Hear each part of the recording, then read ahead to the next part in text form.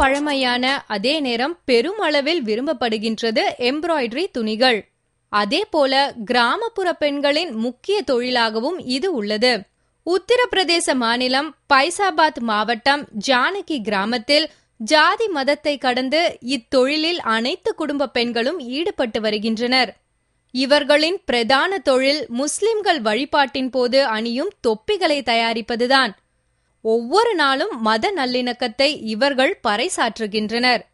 ஒவ்வொரு தொப்பியிலும் வண்ணமயமான வேலைப்பாடுகளை இந்த பெண்கள் செய்கின்றனர்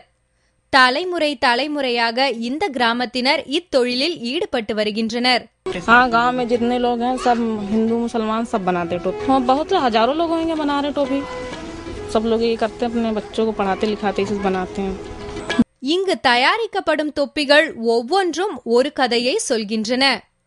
வியக்க வைக்கும் எம்ப்ராய்டரிங் வேலைப்பாடுகளை இங்குள்ள பெண்கள் சர்வ சாதாரணமாக செய்கின்றனர் கையால் செய்யப்படும் இந்த தொப்பிகள் உள்ளூர் முக்கிய நகரங்கள் மட்டுமின்றி நாடு முழுவதும் விற்பனைக்கு கொண்டு செல்லப்படுகிறது இந்த தொப்பிகள் முஸ்லிம்கள் பிரார்த்தனை செய்யும் போது அவர்களால் தலையை மறைப்பதற்காக அணியப்படுகின்றன ये जो है कढ़ाई करने के लिए आता है बुनने के लिए और बहुत काम रहता है इसमें कम से कम ढाई तीन महीने में बनता है और यहाँ जो है हजारों की संख्या में बनाते हैं हिंदू मुस्लिम सब मिल के बनाते हैं जी सऊदी जाता है ये இதையெல்லாம் பார்க்கும்போது இந்த பகுதியினர் மத நல்லிணக்கத்துக்கு ஒரு எடுத்துக்காட்டாக விளங்குகின்றனர்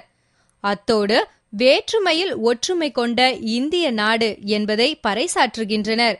தொப்பிகளில் உள்ள ஒவ்வொரு நூல் இழையும் மத நல்லிணக்கத்தை எடுத்து சொல்கிறது